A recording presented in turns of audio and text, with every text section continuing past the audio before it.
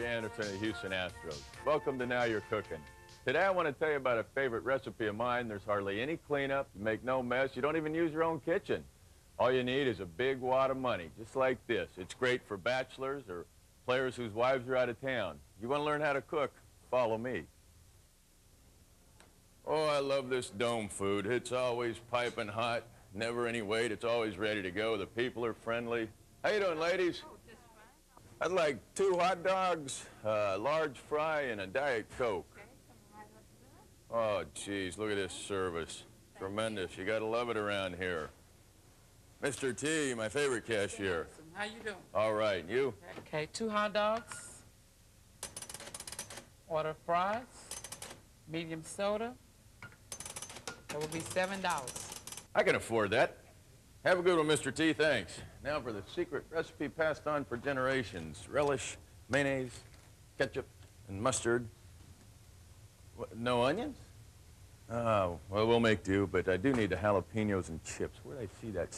There it is. How you doing? Like some chips and cheese and a bunch of jalapenos.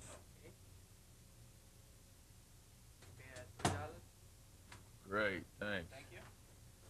Well, With all these jalapenos, I don't think this Coke's gonna do. I'm gonna have to have an adult beverage, and I know right where that is.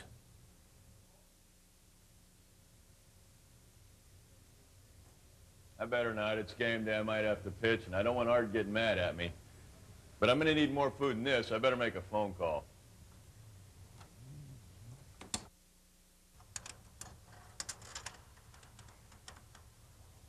Yeah, is this Pizza Boy? Yeah, I'd like a uh, medium pizza, uh, pepperoni and mushrooms, and send it to the Dome, to the Astros clubhouse.